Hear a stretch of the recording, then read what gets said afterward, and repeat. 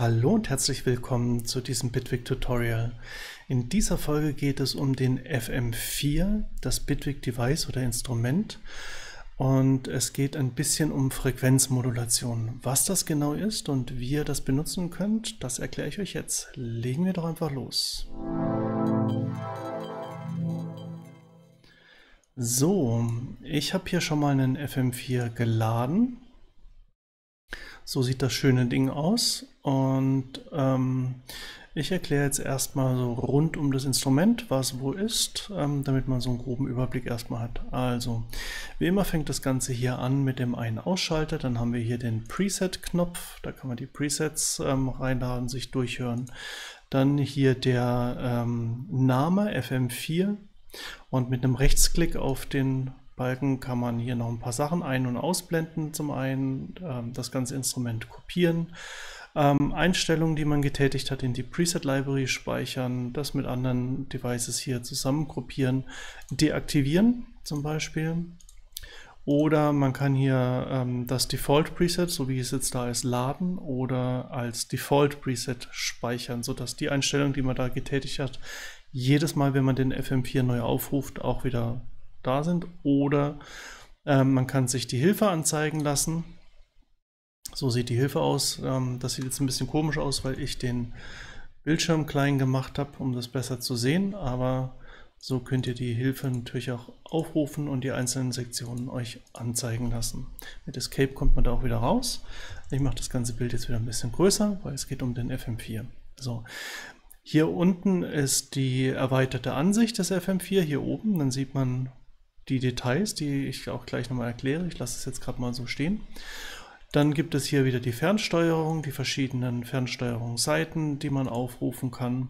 Und schließlich natürlich noch die Modulation oder Modulatoren ähm, Sektion, die man hier ein- und ausblenden kann. So, der FM4 hat erstmal vier Operatoren oder im, in alte Synthesizer-Sprache Oszillatoren.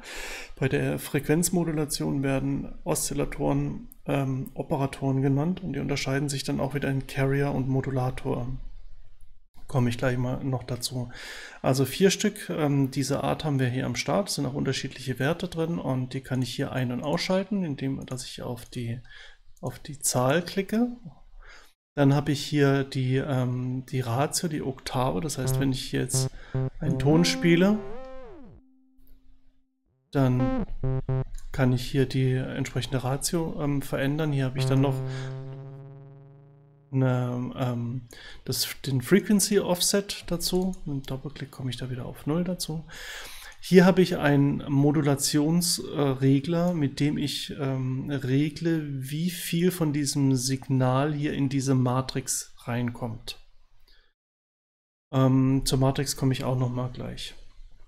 Das ist so ein Standardoperator und der wiederholt sich dann viermal mit den ganzen Einstellungen. Auf der rechten Seite hier drüben habe ich noch einen Noise-Generator, den kann ich auch aus- und einschalten oder ein- und ausschalten, mit einem ähm, Low-Pass oder einem High-Cut-Filter, einem Resonanzfilter, einem Drive, um das zu verstärken. Der Drive hat, glaube ich, so ein bisschen einen Limiter drauf, damit er nicht ganz so explodiert, wenn man den aufdreht. Und auch wieder so ein Modulationsregler, ähm, wo ich regeln kann, wie stark Noise in diese Matrix eingespeist wird. Dann natürlich hier diese Matrix, die erkläre ich auch gleich nochmal. Und darunter haben wir den ähm, Amplitude Envelope Generator, Hüllkurvengenerator oder einfach die ADSR Hüllkurve, also Attack, Delay, Sustain und Release, womit ich den, den Anstieg, die Decay-Zeit, die Halte, Sustain-Zeit und die Abklingzeit, die Release-Zeit steuere. So, in der Sektion ist jetzt quasi meine Mixer-Sektion und hier kann ich zum Beispiel sagen, wie viel Ton aus welchem Operator rauskommt. Ich könnte ja hingehen und sagen, ich will nur den allerersten Operator hören und mit allen anderen Operatoren moduliere ich den ersten oder untereinander irgendwie sonst was und das Ergebnis soll nur über den ersten Operator raus. Dann muss ich nur den ähm, auf laut stellen oder halblaut oder wie auch immer. Oder ich sage, ich will von jedem Operator so ein bisschen oder alles an Tönen haben, inklusive hier den Noise. Da mische ich das Ganze nochmal in der Mixer-Section. Dann habe ich ähm, oben rechts noch den äh, NodeFX-Container, wo ich dann sowas wie Arpeggiator oder Diatonic ähm, Transposer reintun kann, also die ganzen ein, eingehenden MIDI-Noten ähm, manipulieren kann. Die FX-Section, wo ich so Sachen wie Reverb, Delay und ähm, andere Audioeffekte reintun kann. Darunter habe ich dann das Global-Menü mit dem Pitch, das heißt, ich kann hier die Tonhöhe generell ähm, von dem gesamten, von der gesamten erzeugten Ton kann ich hier nochmal verändern. Mache hier mal Sustain ein bisschen hoch. Dann habe ich hier einen Glide, also sprich der, äh, der weiche Übergang oder die Ton, langsame Tonanhebung. Je weiter ich aufdrehe, desto länger dauert es, bis der Ton von A nach B kommt. Also wenn ich jetzt einmal ein tiefes C, hohes C spiele, dann spielen die sofort an. Dann schiebe ich jetzt den Glide hoch. Dauert das immer eine Sekunde, bis der Pitch, die Tonhöhe von einem zum anderen gewandert ist. Hier habe ich nochmal einen Verstärker drin, den Gain, wo ich den Ton lauter oder leiser machen kann. Und hier habe ich dann den Stereo-Regler, den Panning-Regler für links-rechts. Und Ganz unten habe ich dann auch nochmal den Volume-Regler, der dann die Lautstärke steuert, die aus dem Device rauskommt in die nächsten Geräte rein oder eben dann in, den, in die Masterspur. So, das ist der grobe Überblick über den FM4. Und jetzt gehen wir zu den einzelnen Modulatoren, beziehungsweise ich erzähle vielleicht noch ein bisschen was zur Frequenzmodulation, wer das noch nicht so wirklich kennt. Ähm, da wird immer immer so ein bisschen gesagt, dass die super kompliziert wäre. Das stimmt nicht. Es ist im Prinzip völlig einfach, nur die Sounds sind komplex. Das heißt, zu verstehen, was, was die Frequenzmodulation tut, ist relativ einfach. Sounds damit zu äh, kreieren und verstehen, was worauf Einfluss hat oder beziehungsweise vorausdenken, wie ein Ton entsteht und dann die entsprechenden Operatoren und Algorithmen ähm, so zu ähm, programmieren oder einzustellen, dass man den Ton bekommt. Das kann unter Umständen komplex sein, aber kompliziert ist diese Synthese eigentlich nicht wirklich. Ich versuche das einfach mal hier an einem Beispiel ähm, zu zeigen und zwar setze ich hier das alles mal auf Null und ich erkläre dann im Laufe dessen, was es mit dieser Matrix auf sich hat. So, und ich setze hier alles mal auf 0. So, ob das aus ist oder nicht, ist relativ egal. So, wenn ich das jetzt hier auch noch auf 0 setze, läuft nur hier der allererste Operator. Ich kann die auch ausstellen, das macht aber überhaupt gar keinen Unterschied. Ich sehe es ja hier Operator 1, rot, Operator 2, der ist an, aber da kommt nichts. Operator 3, Operator 4 ist auch auf 0 alles. Noise ist an, jetzt kann ich das hier noch so ein bisschen runterstellen, dann ist das auch ruhig äh, mindestens. Und ich habe auch nur den Soundausgang hier aus dem Operator 1, das heißt Operator 2 kommt kein Sound, weil da bewegt sich auch nichts. So. Und ich habe jetzt bei dem Operator 1, äh, stelle ich jetzt auch mal auf 0, der moduliert sich anhand äh, entlang dieser Nulllinie, sage ich jetzt mal. Wenn ich den jetzt auf 1 stelle, dann moduliert der hier eine Sinuswelle entlang der Nulllinie. Die sollte jetzt eigentlich hier unten sein. Das ist der Vorführeffekt. So, genau, hier sollte un ungefähr sein, also eigentlich in der Mitte. So. Das heißt, der Sinuston, der, der moduliert sich um die Stille, sage ich jetzt mal so. Und dann sehen wir diesen perfekten Sinuston, mehr oder minder. Und was jetzt diese Operatoren machen, wenn die jetzt nur modulieren, also wenn jetzt der Operator 2 den äh, Moderator, äh, Operator 1 moduliert, dann ist das nichts anderes, als dass, der, dass die Welle, die ich hier einstelle und dann über die Matrix konfiguriere, diese Welle hier moduliert.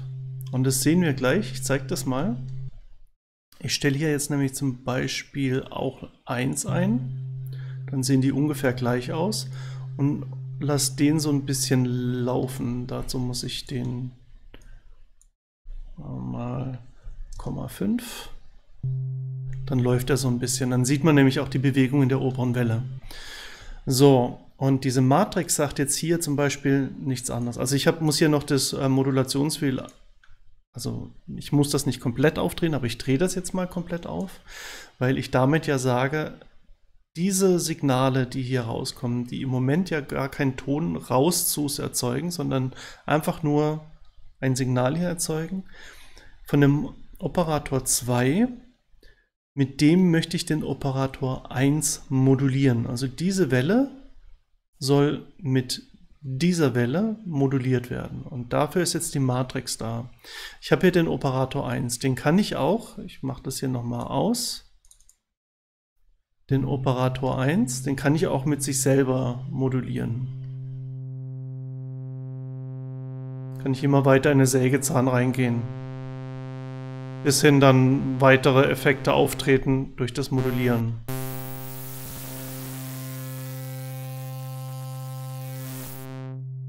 So.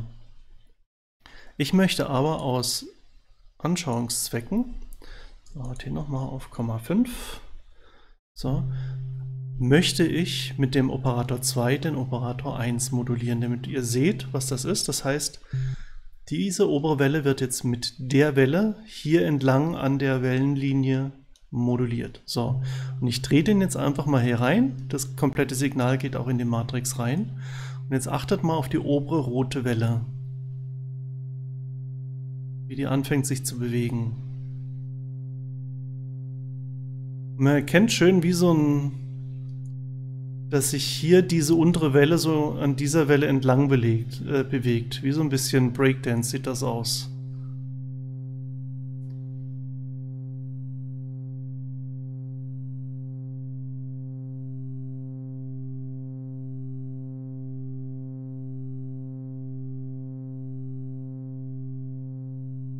Das ist die ganze Frequenzmodulation.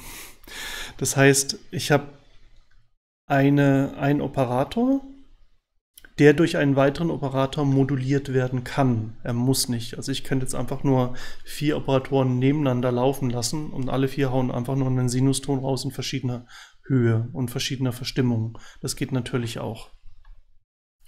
Aber diese Matrix, die ich hier habe, ähm, ermöglicht mir, dass ich ähm, oder dass ich die ähm, Operatoren sich gegenseitig modulieren lassen kann. Ich könnte jetzt auch hingehen, könnte sagen, okay, aus 1 kommt hier eine ganze Menge raus.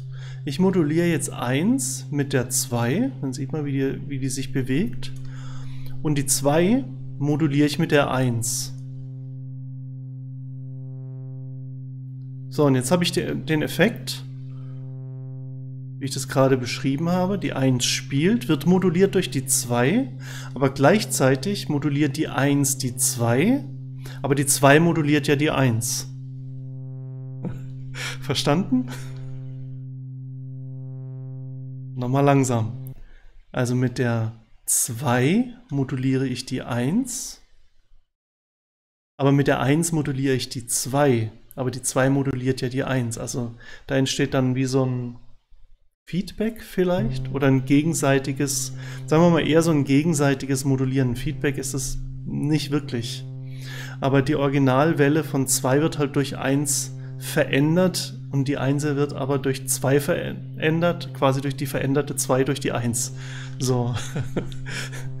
das ist das, ähm, was es immer so kompliziert erscheinen mag, lassen mag.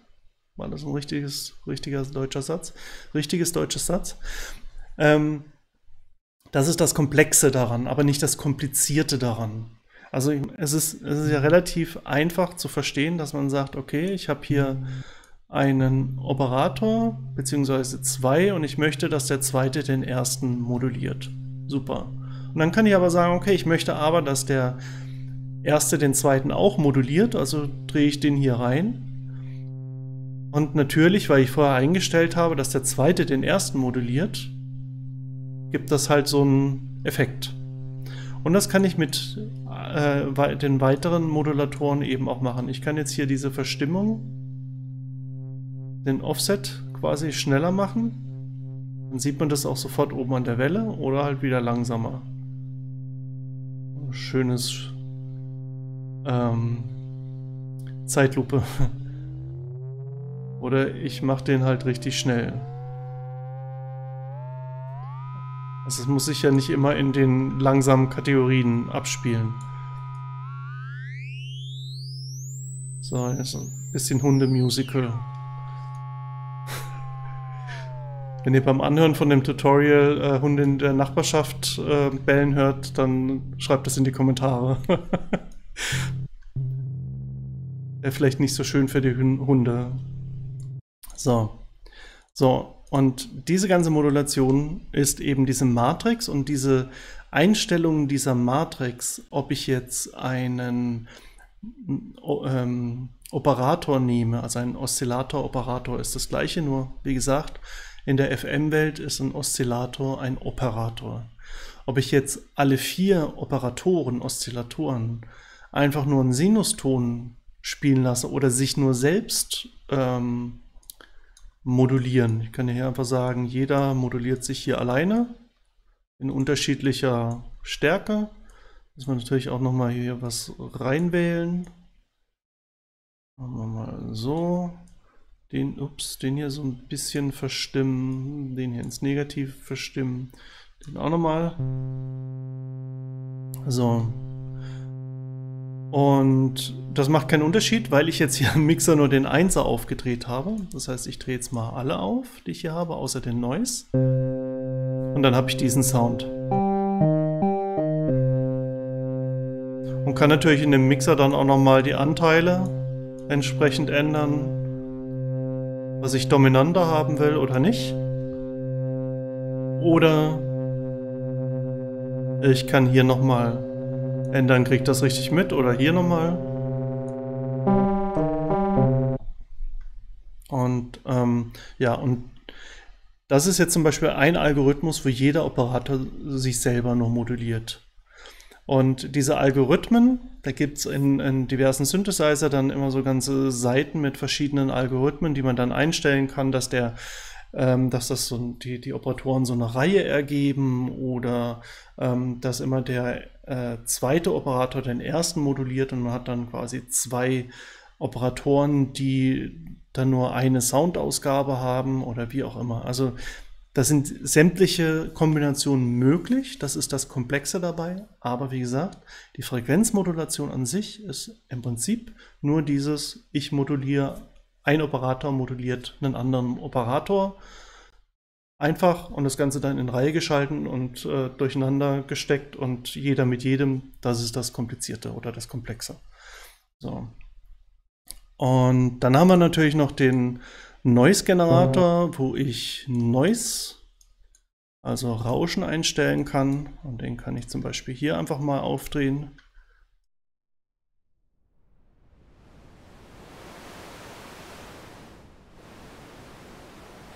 Resonanz rein, Drive oder entsprechend dann noch Modulation in die, in die Matrix rein. Ich mache hier mal alles aus, außer dem ersten, den Noise mal weg und drehe jetzt zum Beispiel mal Noise hier rein. Und wie ihr oben an der Welle seht, seht ihr, wie der Noise jetzt sich an dieser Welle entlang moduliert, beziehungsweise die Welle moduliert.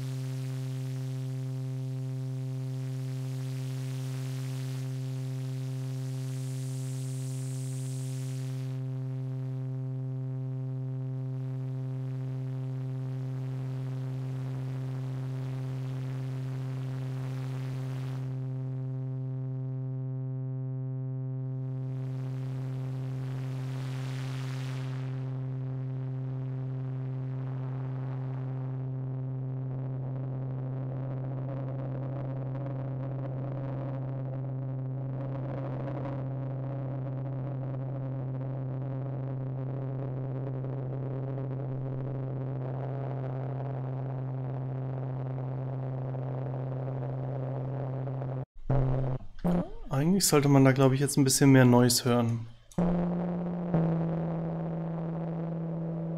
Ah, einfach nur zu stark moduliert.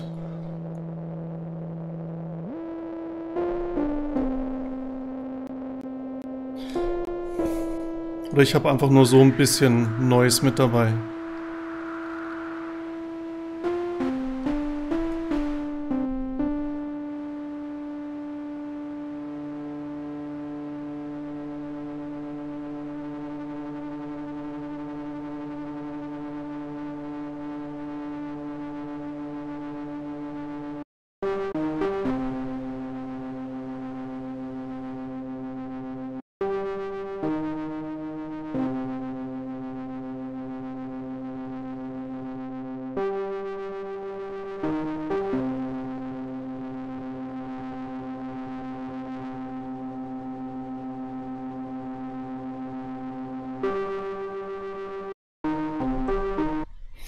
Man natürlich so diese ganzen Standard ähm, Stereo Delay und Reverb irgendwie reinmacht, dann hat man natürlich schon wieder den richtigen Sound. Aber den Rausch. Machen wir hier alles aus, dass hier gar nichts moduliert. Nur den normalen Sinuston.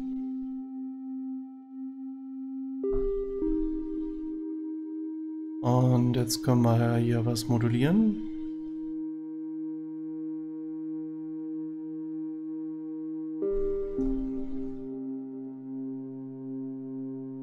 Und vielleicht noch ein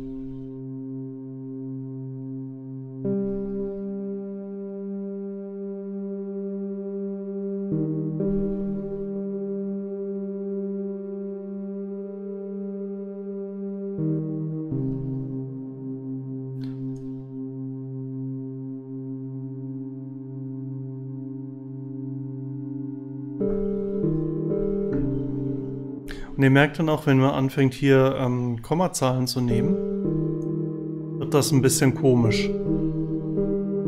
Also, naja, was heißt komisch? Also, ähm, es, es hört sich dann ein bisschen dissonant an. Solange man hier auf ähm, geraden Zahlen bleibt, ist meistens alles relativ easy.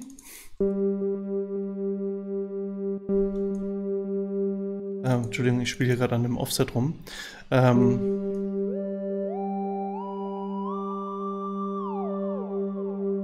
Hört sich alles gut an, aber wenn man jetzt anfängt hier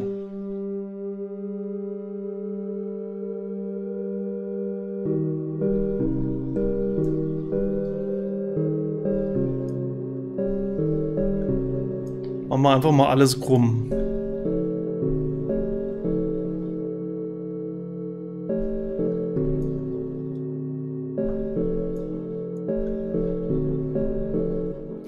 Wir jetzt noch uns gegenseitig modulieren, müssen noch alles aufmachen. Einfach mal so ein bisschen querbeet, jeder mit jedem hier.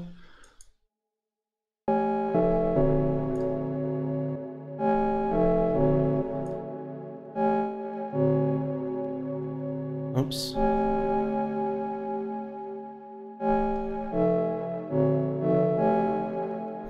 Kann man natürlich schön einstellen äh, und mögen und auch für den, für den Einsatz, den man da gerade plant, machen.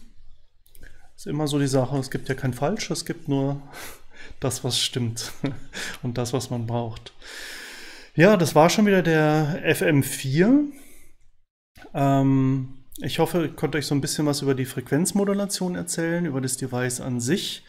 Auch so ein bisschen diese, diese Mystik hinter FM-Modulation wegnehmen und ähm, sicherlich, äh, man kann da ganz komplexe Geschichten machen, aber die eigentliche Frequenzmodulation an sich ist eine relativ einfache Geschichte. Operatoren und die Algorithmen, das heißt die Matrix, wer mit wem und wie oft und wie lange und wie stark und so. Und ähm, ja, wenn es euch gefallen hat, lasst ein Like da, abonniert den Kanal, ähm, reicht mich weiter, erzählt von mir und ähm, kommentiert gerne. Ähm, ich finde es ja total klasse, dass ein paar Leute ähm, ein paar Kommentare da gelassen haben, auch ähm, Fragen zu anderen Devices und anderen Themen. Äh, notiere ich mir alles ähm, und ähm, gucke, dass ich das ja hoffentlich demnächst alles mal angehen kann und nach und nach raushauen kann. Und ja, das war's dann. Ich wünsche euch einen wunderschönen Tag. Bis bald. Ciao, ciao.